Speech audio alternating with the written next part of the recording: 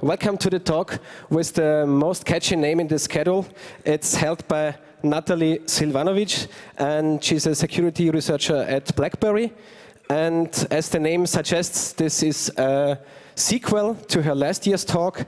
And I would say give her a huge round of applause for this year's even more Tamagotchis were harmed in the making of this presentation. Natalie Silvanovic. So is this on?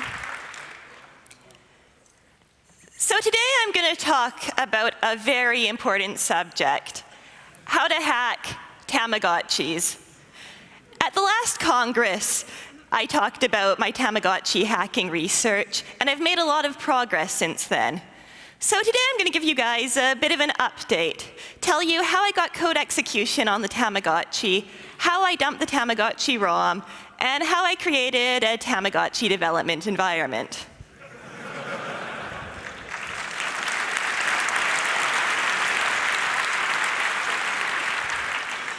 but before we begin, a bit about me. By day, I'm a security researcher at BlackBerry, and you'll notice my slides have a bit of a disclaimer in them.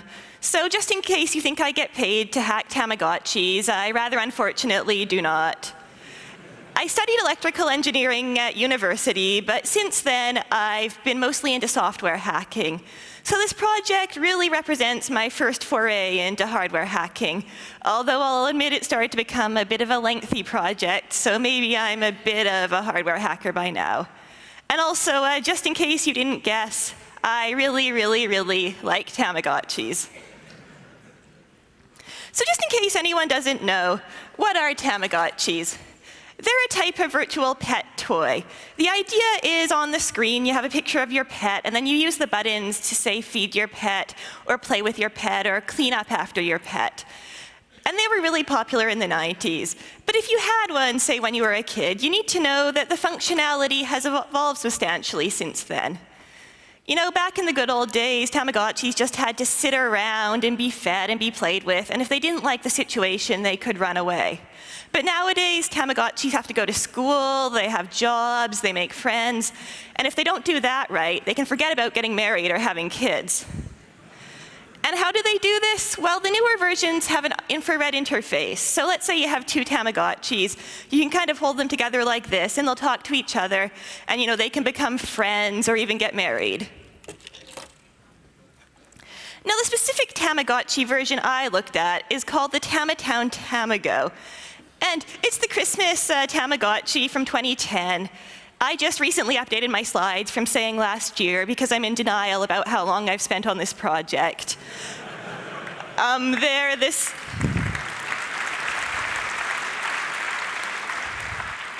They're the same functionality as the smaller Tamagotchis. They're meant for younger kids, so they have bigger buttons. And then they have one more great feature, which is called figures. And the idea is you slide the figure on top of the Tamagotchi, and it unlock, unlocks extra features like, you know, a shop your Tamagotchi can shop at, or an extra game. So what were my goals with this project? Well, what I wanted to do was dump the Tamagotchi code and answer what I call the deeper questions of Tamagotchi life. You know, things like, does what your Tamagotchi eats affect how happy it is? Or, does it really matter who your Tamagotchi marries? Also, I wanted to make my Tamagotchis rich and happy. I wanted to cheat at Tamagotchi and have the richest and the happiest Tamagotchis alive. Also,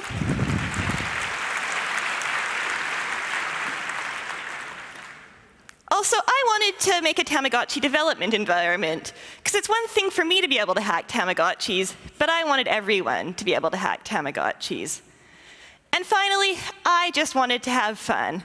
Because you know all those cool kids hanging out, going to clubs, they just haven't discovered reverse engineering yet.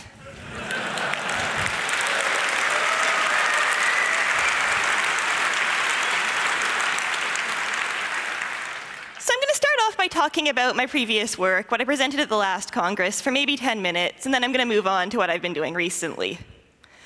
So when I first got the Tamatown Tamago, I ran out to the store, you know, bought about five of them, made up some crazy story about how they were gifts for friends, and took one apart.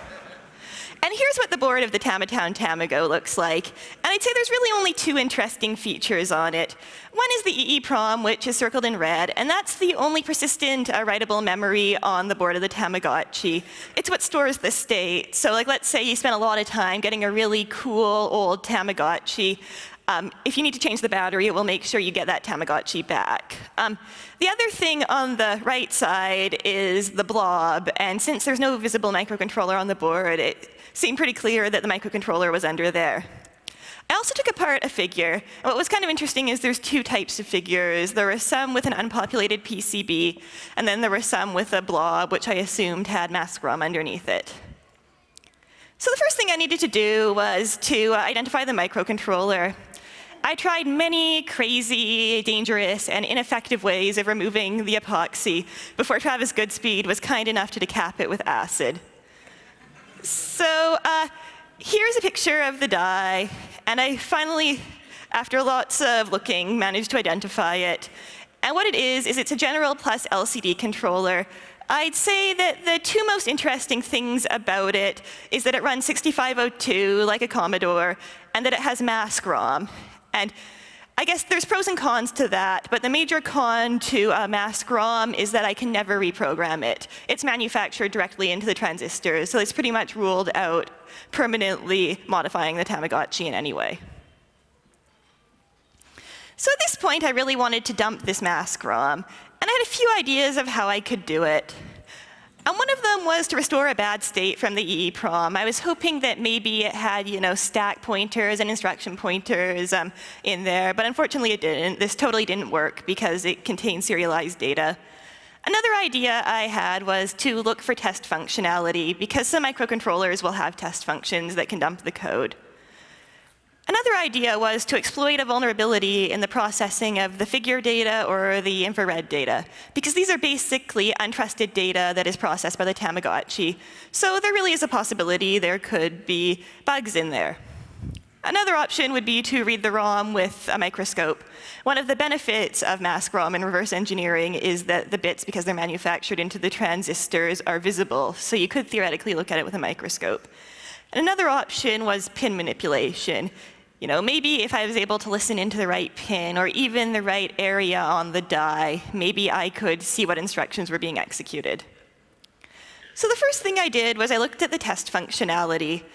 And it turns out that all General Plus microcontrollers have a mandatory test program. And I suspected that this would probably allow you to dump code, just because um, the nature of mask-ROM is that it's very expensive up front, but very cheap to make copies. So I think it would be a common problem that customers complain that the mask-ROM wasn't manufactured correctly, so it would make sense they would have a way to prove that it was correct. So I looked around for this quite hard, but unfortunately, at this point, I could not find the test program, so I had to move on. So the next thing I did was I looked at the figure ROM and I thought this could be useful in a few ways. As I said, my main goal was to dump the ROM, but I thought there were some other fun things I could do. Maybe I could execute code on the Tamagotchi. Maybe I could make my own Tamagotchi games, because the figures support games. And if nothing else, I was sure it would make me better understand the Tamagotchi behavior.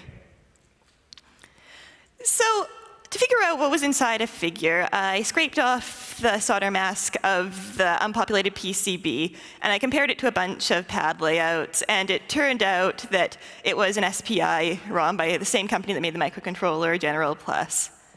This allowed me to figure out the pinouts on the figure interface, which in turn allowed me to dump a figure. Then I was able to look at the format of the dump, and eventually I figured out uh, how to decode images, and there's a picture of it there. At this point, I could look at all the images, and I already knew a few things about the Tamagotchi from them. One thing that was interesting is that all the text was an image, so there was no ASCII or other text format in there. If the Tamagotchi said dress on the screen, there was a bitmap that had the word dress on it. So that kind of shows the Tamagotchi isn't very advanced in its programming. The other thing I noticed was that every animation was a series of images. So for example, if your Tamagotchi was wearing the dress, there would be every single sprite with every single dress drawn. There was no you know, sprite handling or overlays or anything like that. So I looked into the rest of the ROM, hoping that there might be, say, code in there, but there wasn't. Um, and there wasn't, I'd say, even a lot of non-image data, not compared to the size of the image data. So I assumed there was probably logic information in some sort of serialized format. Now, to understand this a bit better, I didn't think that reading the ROM was enough. I thought that I had to be able to write the ROM so I could change things and see what they do. So eventually I made a rig that basically uh, simulated the ROM by bit banging. That's a picture of it there. And from this, I was able to uh, do a few things. To start off, I could put different pictures on the front of the Tamagotchi. That was fairly simple. When you put a figure on, it draws a picture of like a wardrobe or a chest that you keep your toys in or something like that. So I was able to swap that out for uh, different images. Also, I was able to play around with some of the logic. One thing that I found interesting was the game logic. I was expecting the game logic to take up a lot of memory because games are complex, but it turned out to be quite small, less than 50 bytes of non-image data read at any point during the figure functionality. Even more interesting was that the game logic, like what decided, you know, when you got points and stuff like that, was represented by a single byte code. Which basically what this means is, you know, there's a few types of games. You know, there's the one where you catch falling stuff, and there's the one where you match stuff. And those are all actually in the internal ROM of the Tamagotchi. And the figure just, you know, says which one, which bit of logic it is. The other thing that was even more interesting was what happened if I put in an invalid index. This would cause me to jump to other valid screens that had nothing to do with games. So I'd put in like one invalid index, and I'd go to the screen where you feed your Tamagotchi, and I'd put in another invalid index, and it would go to, say, where your Tamagotchi takes a shower. And what was also interesting was that there was, it wasn't very smart once again. If I, say, went to the feeding sc screen and hit back, I would go back to the screen that you would normally go to from that screen, not the one I'd come from. So this basically meant to me that the Tamagotchi was one big state machine with no concept of a state stack or a screen stack. So I thought this was quite interesting. And then the final thing, which at the time I had no idea what to make of, was that some invalid codes caused freezing, and I actually had to reset my Tamagotchi. But I didn't have any way to find out more about what was going on than that. So um, here's a quick example of this. Um, in this video, I am jumping to the evolve function. So basically, uh, this is what makes your Tamagotchi grow older.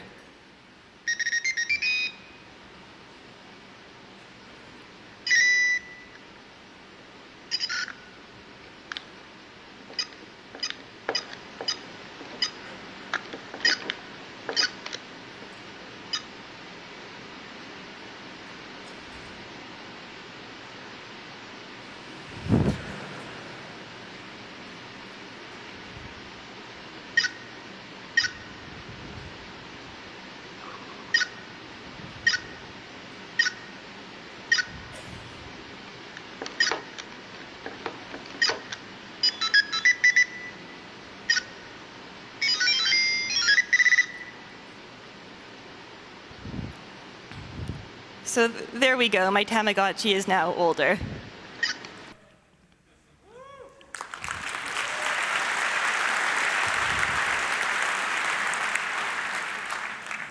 So this is where I was at at the last Congress. And right afterwards, I was contacted by a guy called Mr. Blinky. And he wanted to order his own figures and reproduce my research. But something funny happened. When he ordered his figures, they had flash in them. And it turns out there's actually three types of figures. There's the ones with the unpopulated PCBs, and there's the one with the mask ROMs, and there's actually a type that contains flash. And what was even cooler is that you could basically just program the flash right through the contacts of the figure. The picture I have in here has a wire connecting the right pin, but that's completely unnecessary. I just didn't want to open up a second one to take a picture. But basically, all you need to do is make a programmer, and you're good to go, and you can reflash the figures, which was great. So uh, this is Mr. Blinky's programmer. And basically the idea is you put in a standard uh, SPI flash programmer in there, and there's also a switch, and then you could go into programming mode or regular mode in the Tamagotchi. A guy called Asterisk also made a similar programmer. And this is my programmer. but I promise it still works.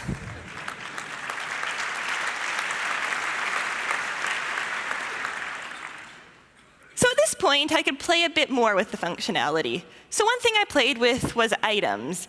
And the Tamagotchi supports lots of different types of items. For example, you can see on the left and the right at the bottom, there's the clothing store, and then you can buy a dress that your Tamagotchi wears. And then you can also do things like take your Tamagotchi on a trip to see the statue of Abraham Lincoln in Washington, D.C., which is the middle picture. So I played around with this a bit, and I found out it was in a bytecode format. And you could do things like display an image on the screen, play a sound, and you can also change um, stats. So for example, when your Tamagotchi sees Abraham Lincoln, it gets really, really happy. But there was nothing really useful in there. There was some unusual behavior for invalid instructions, but nothing else that I could use to dump the code. But thankfully, I could do some fun things, like make a music video, or make my Tamagotchi do the Harlem Shake.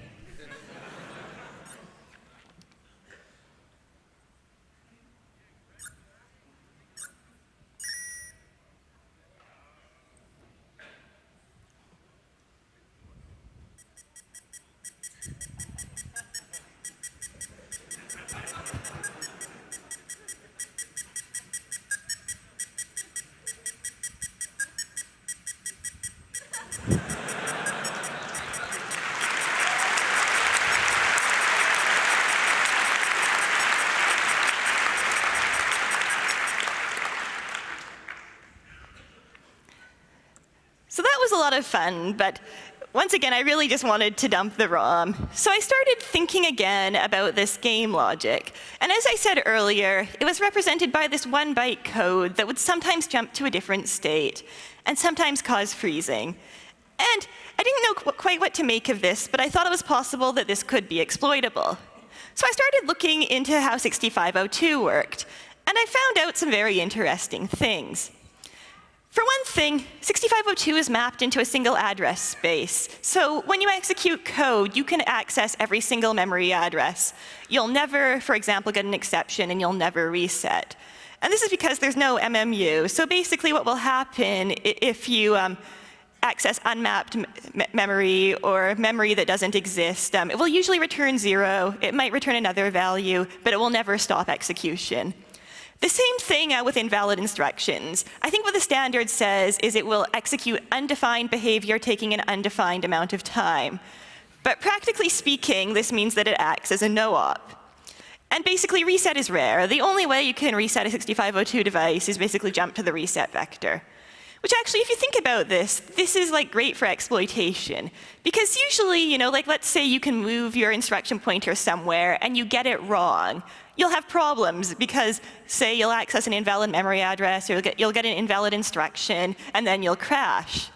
But with 6502, if you're a little bit off the code you're trying to jump to, you still might make it because everything acts like a no-op. And even if you don't, right, it's just going to keep executing in wild loops forever, and maybe you'll get there. So I thought, um,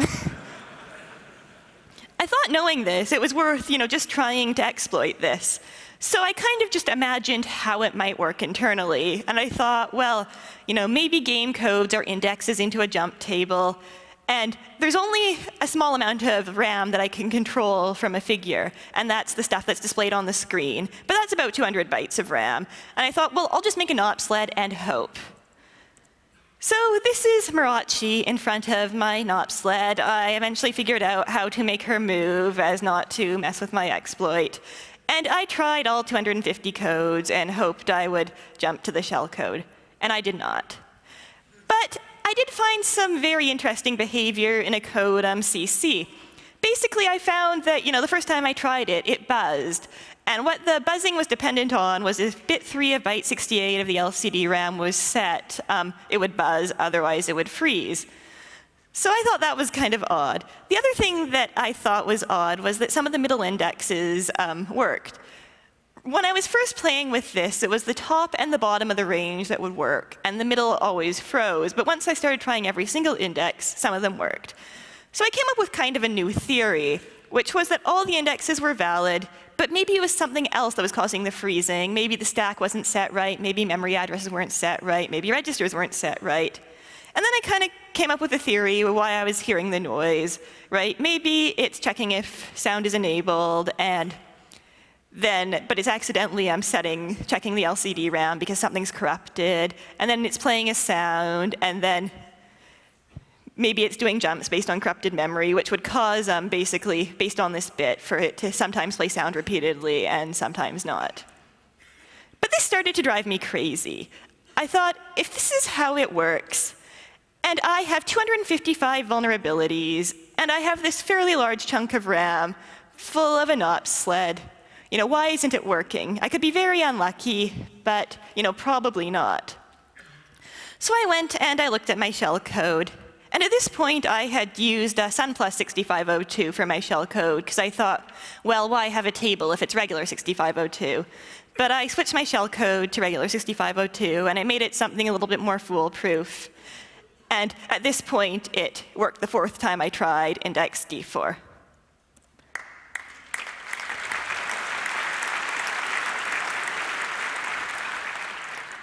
Uh, so this is an example of my exploit. Circled in blue at the bottom is the stub of shellcode I hit. It actually turns out that the LCD RAM isn't contiguous, so that's actually a very tiny um, NOP sled, and it was quite fortunate I ended up hitting it. Um, at the top, because I don't have enough room, I'm jumping to the actual shellcode circled in yellow. And what this shellcode actually does is it writes um, white to the LCD RAM, and that's circled in red. And what I was trying to do here is, since I now knew the LCD RAM wasn't contiguous. I was trying to figure out where all the addresses were. But that's just a simple example that shows that it works. So the next thing I wanted to do was to dump the Tamagotchi's ROM. So what I did is I broke out the button lines, which are port A, and then I just wrote out the entire memory space um, using SPI, and then I used my signal analyzer to analyze it. Unfortunately, this wasn't the entire ROM, because the ROM is actually much larger than the memory space, and it uses ROM paging to um, make its memory space larger.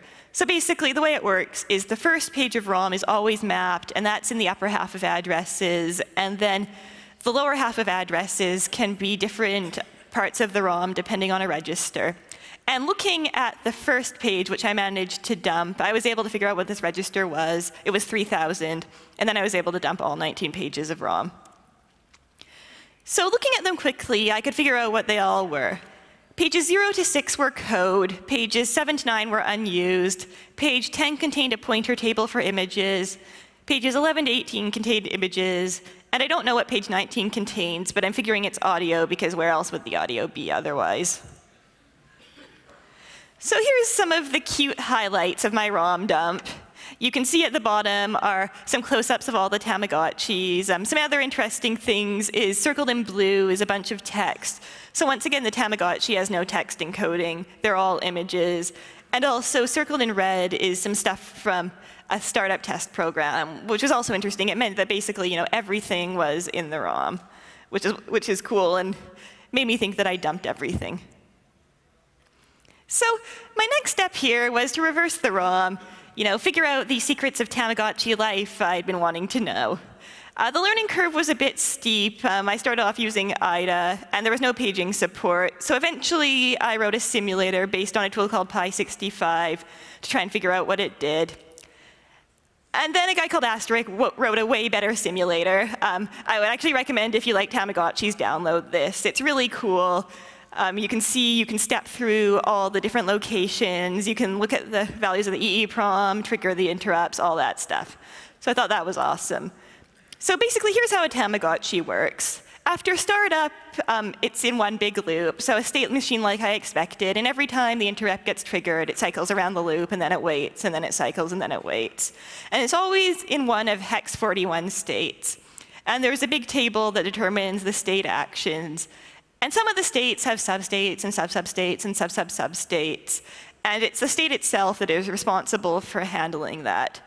So basically, when you enter a state, it will have you know, startup behavior. And then after that, it will be responsible for everything except for LCD update and SPI pull. So it will have to play sound, it will have to handle memory, it will have to even put you into the next state you need to be in. And the only things it doesn't do is it will write into a fake LCD buffer, and then there is an LCD update function that actually updates the LCD. And also, you're not responsible for pulling SPI. That's the one thing that's done outside of your states. And just a general note, there were tons and tons of pointer tables. I don't know quite why they liked them so much, but there were pointers to pointers to pointers everywhere. So um, I was able to figure out a few secrets. One was what makes a Tamagotchi a boy or a girl? And I found out that there was an entropy source, um, C4, that is based on how many times a timer one has fired. And basically, this is what determines whether it's a boy or a girl. So when you're starting up your Tamagotchi, the instant at which you press the button to enter your name, that's what seals your Tamagotchi's fate. Um, also, I found out, right, you start off with a baby Tamagotchi that grows into a toddler. And I found out that this is completely random, except sometimes it's evened out. So basically, if you had one toddler last time, you'll, it's more likely than not you'll get a different toddler the next time you raise a Tamagotchi. What I also thought was fun was that some toddlers are higher maintenance than others. Some you hardly need to care for them and they'll become, you know, the best teenager. And some you got to care for a lot and it doesn't even seem to have an effect. So I found what teen a toddler becomes is much more complex though. Basically, there's two care factors, and they start off at zero, and every time you mistreat your Tamagotchi, you know, don't feed it or something, you get dinged on them. And then based on you know, how low these factors are, you get different Tamagotchis. But there still is some entropy involved. For example, which factor gets dinged is random. Also, what adult a teen becomes becomes on, uh, depends on these same factors, but there's also a third factor, which is how well disciplined your Tamagotchi is. And also I found that toddler care matters in what adult your teen becomes basically, you know, if you take great care of your toddler, you don't have to take such good care of your teen for it to become a great adult. But if you've neglected your toddler, you've got a lot of catching up to do if you want to get the great adult Tamagotchi. Another fun thing is that you can potty train your Tamagotchi. Every time you see your Tamagotchi doing the potty dance, you can drag it to the toilet, and this will increment its discipline, and eventually, if you wait long enough, it'll start going itself. Another fun thing I discovered is that the Tamagotchi has a test mode in it, and this was kind of cool. I was looking at the figure processing, and there's really two types of figures, ones with restaurants and ones with shops. But I found there was a third type of figure. So I made a figure of this type, and I put it on my Tamagotchi, and I found it has a debug mode in it. And it's pretty cool. It allows every stat to be altered, so you can make your Tamagotchi less hungry. You can make it every single character. You can change, you know, what its spouse looks like. You can see the care factors, and I also found a bunch of unused functionality in this. So there were some other secrets this helped me figure out. For, for example, I found out it doesn't matter who your Tamagotchi marries. They're just as happy, and the kids turn out just the same. Um, the exception being there's kind of a well-known Tamagotchi trick where if you marry a certain Tamagotchi called an Oldichi, you do get a special toddler. Um, also, I found that figures, there had been some debate about, you know, if you have a figure just on your Tamagotchi but aren't using it, does it change how your Tamagotchi behaves? And I found out the answer to that is no. There's just a special display if you have 100 figures for your Tamagotchi. So I put this online and I got some interesting reactions. Number one, just be aware the user cannot be held responsible if you do these. These are your choice at your own risk. And my personal favorite, interesting, you are putting much effort into something that most consider not worth it. Kudos to you. Ah, oh, well, what can you do?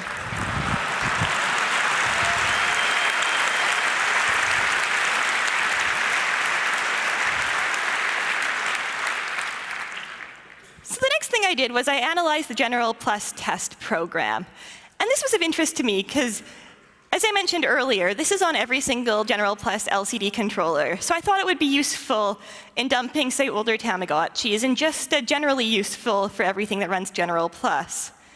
And basically, I looked at it, and it turns out it pulled, basically, it, you start up with the test pin pulled, and then it pulls port A for a code, and then it puts output on port B. And the most interesting code was code 16, which would actually take code off of port B, fill up RAM with it, and jump to it. So that's pretty cool. That basically means that there's now a method you can use to dump code from any General Plus LCD controller. The caveat being that port A, port B, and test have to be bonded. So on some chips, you might actually have to remove the epoxy. But this can be always be used to dump the code, which I thought was pretty cool. So the next thing I wanted to do was make some dev tools. And I already had two of them that I'd made in the process of reversing. The first one is called portrait.py, and I used that to put the, screen, the, image on the screen of the Tamagotchi, so that's a simple one. I also had item make, which is what I used to make the Tamagotchi music videos. Um, if you like the Harlem Shake, you can check out my YouTube channel. I have a few others. But they both have some serious limitations. Um, you know, that they're both for specific things. So I wanted to write a generic tool that you can use to run generic assembly. But the big problem I ran into was that my exploit wasn't very reliable. I would say it's 30 to 40% reliable, but it was very finicky sometimes. It tended to work really well if the Tamagotchi had been running for a long time, but as soon as I started resetting, it stopped working. And I thought about it and I thought, well, really, for a useful dev tool, you need 100% reliability. So I couldn't use this vul. So I started to look into how it worked. And basically, I was right about it being a jump table. And basically, what um, the figure does is it will fetch the game index, that one value that determines what game you're playing, add hex 27 to it, and then jump to that in the state table. And there's no validity check, so your problem is that you're jumping to a state that's out of range. But then what does a Tamagotchi actually do with that invalid state? Well, it turns out when the Tamagotchi does a state change, it jumps into the state table. But what it actually does is it pulls a page number out of that table and then jumps into address 4000 there. And then at address 4000 in that page table, it has code that will make you jump into another jump table. So this means that invalid states could do a few things. Um, they could jump to a non-code page, they could jump to an unexpected address, they could bring up an invalid page, lots of options there. And if you look at what this original vulnerability did, is it would return instead of a valid page, part of the LCD table, which was 3C. And what happens when you make a general plus LCD controller go to an invalid page? Well, I don't really know. I tried playing around with this, writing it out to the LCD, and I got all dark, um, all FFF, but I didn't know what this meant. I think it can mean two of, one of two things. Basically, either when you go to an invalid page, it causes the memory to float. And that would be what's causing my execution, that this floating data somehow caused jumps into my code. The other option would be that executing FF for whatever reason caused a jump into my code. Both of these are very weird, but for whatever reason seem to work. But no wonder this exploit is unreliable, and certainly there's no way to make it more reliable. So I did what I called vulnerability idle. I tried out all the other indexes, and I eliminated ones, you know, voted against them if they started failing. And I found out, you know, which uh, vulnerability was going to star in the Tamagotchi dev kit, and that was CD. And I looked into it, and I figured out how it worked. And basically what's happening here is it's I'm adding 27 to CD and going to F4, and it's returning another piece of the LCD table, which is 4. But this is a valid page. So then it goes and executes the jump um, code in that valid page, but it goes somewhere that's invalid in the jump table. And it's actually a code location. So it's treating um, inc11e as a pointer, which is actually 1EEE. But very fortunately, the way LCD RAM is addressed on the microcontroller, it actually ignores those internal bits that you know, aren't part of the proper address. So um, 1EEE will um, resolve to 10EE, which is in the LCD RAM.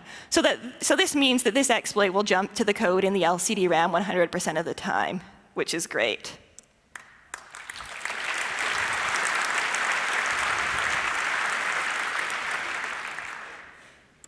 So now I was ready to make my dev kit. And I made Tazamgotchi, the 6502 assembler for Tamagotchi. And what it does is it basically outputs a binary ready to be loaded on the figure. So you don't need to mess around with exploits or anything. You just need to compile, load, and then you can execute the code. And basically what it does is it loads the code into RAM and then executes it. Contains a few uh, convenience functions for things like writing to the LCD and IR. And these are largely based on the Tamagotchi ROM. And it's based on a 6502 assembler for Python called Ophis.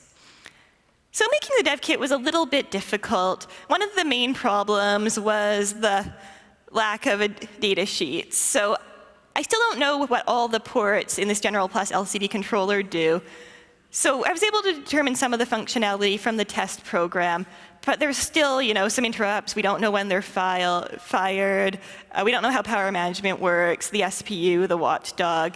And I just want to mention, if anyone does figure this out, contributions are welcome. So to make the dev kit uh, more generally useful, I made a programming board called an eggshell. And this is basically an SPI programmer for the Tamagotchi. So you can take your figure and push it on and then program it over USB. I also put on infrared there. Right now, there are no Tamagotchi remote exploits where you can reprogram it over IR, but I'm not 100% sure that isn't possible, so I put on the components, you know, just in case we ever find one. And it's also a LilyPad USB Arduino if you want to use it for something else. So I basically have all my tools there, um, the three uh, programming tools, and also the board specs. So today I'm going to do a workshop. Uh, if people want to learn how to use these tools, um, Today, the room opens at 7.30, and I'll start talking at 8, and I'll be selling kits for 30 euros, including VAT, and they include basically the board and the figure and the Tamagotchi, um, everything you need to learn how to program a Tamagotchi. Um, and if you want to sign up or learn more about it, I have a link there. I also wanted to do a quick plug for my boards. I'm selling these at the URL below, and I don't profit from these or from the workshop. But I ended up doing a very large run of them because I wanted the unit price to be affordable to everyone who wants to hack Tamagotchis. So if you like my project and want to support it, I'd appreciate if you bought a board. There's a URL where you can get more info below.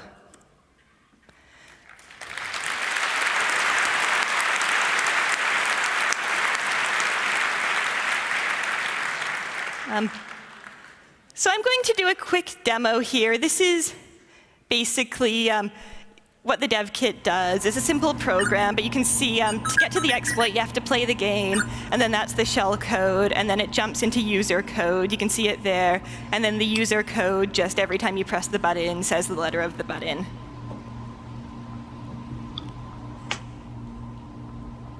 So basically, that's the dev kit.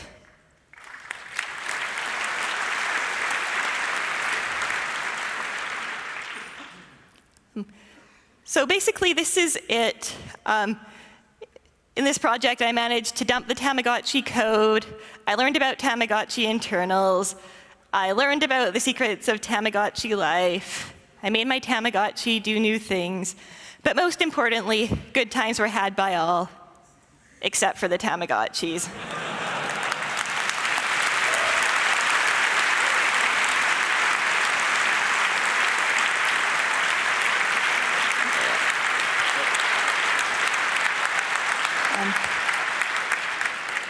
Uh, so since we have a little bit of extra time here, um, I wanted to run through, I made some bonus slides about the new Tamagotchi.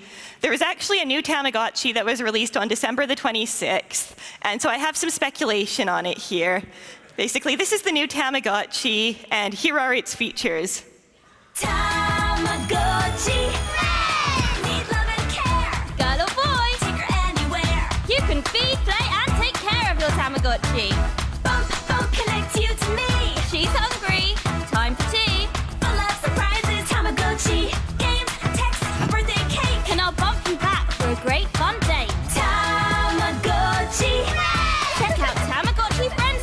for even more cool stuff. Tamagotchi Friends from Bandai.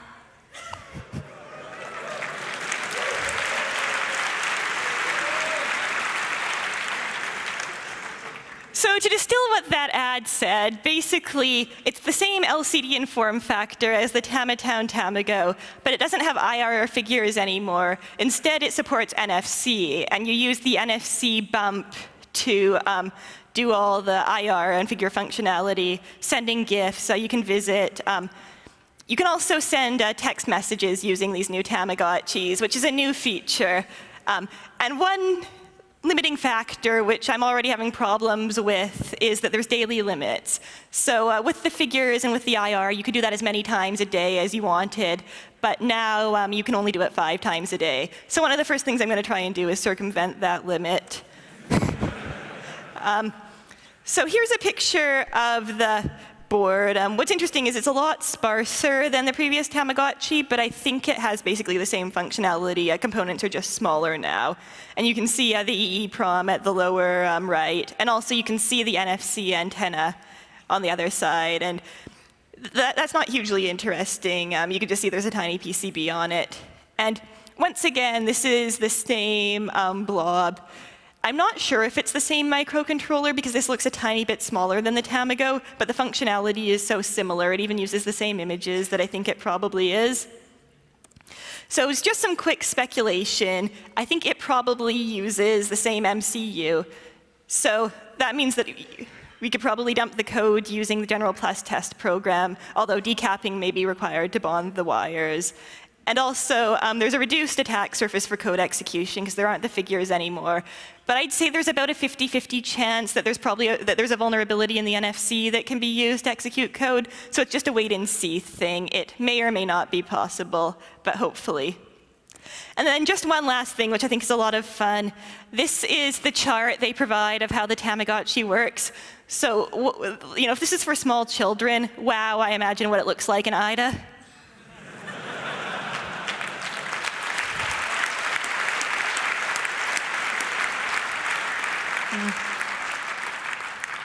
Uh, so that's it. Uh, I'd be happy to take any questions that people have.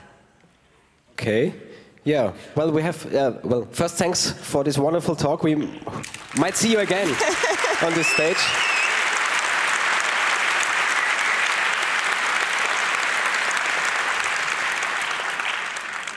always always add some color to these slides, uh, which we're seeing usually. Uh, do we have some questions, uh, Signal Angel? No questions from the internet so far. Okay, so then we need something from in here. I see someone at number four, maybe. Yes, hi.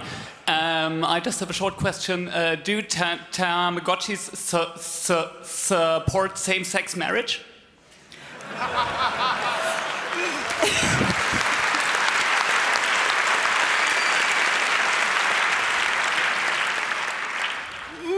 officially, but the marriage checks are what hackers like to call client side.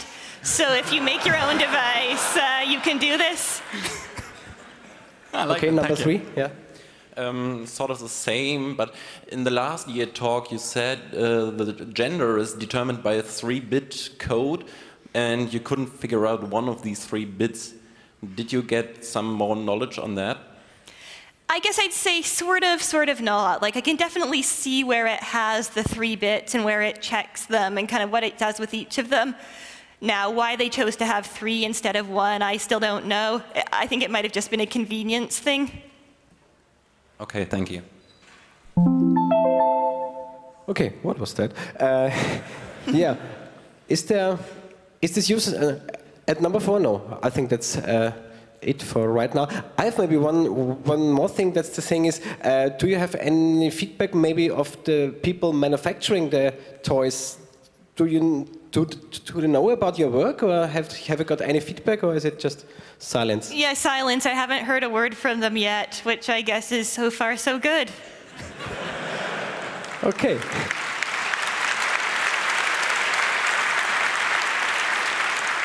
We have some more at number four, please. Yeah, I have a question.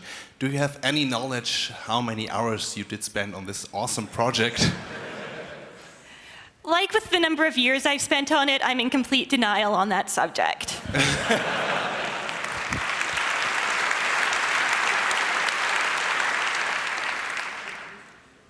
okay, I think then, ah, we have some more at number two. Go ahead. But have you figured out how to give the Tamagotchi a soul? I don't know. This has actually been a debate on several Tamagotchi forums whether whether Tamagotchis have souls and whether I've destroyed the magic of that. Unfortunately, I think this is more of a philosophical subject that can't be determined by technical means. Again? Do you know of any other products using these same General Plus chips that uh, your sort of reverse engineering efforts could be applicable to? Not the exact chip, although I've heard that Furbies also use General Plus. also, I was looking into General Plus, and basically, a lot of toy manufacturers or toy consulting companies, one of the things they offer to do is, you know, set you up with General Plus. So I think, like, my guess is that a very large number of toys actually use use it. Actually, now that I think of it, there was actually a third one that I found out about, which was a Hannah Montana toy. And they actually managed to dump the code of that um, using an internal test mode of the toy, uh, jumping it off, dumping it off the LCD. But yeah, those are, I guess, the two I've heard of. So now that the that yeah okay. So now that this dev tool is out so we are maybe looking forward to maybe next time see people doing great stuff with this with these toys and maybe have some some uh, yeah some new software for it and maybe some uses maybe next year on the congress. Yeah i'm excited to see what everyone does with it. Okay i think then we have it. So uh, thanks a lot again for having you here. And yeah it's your applause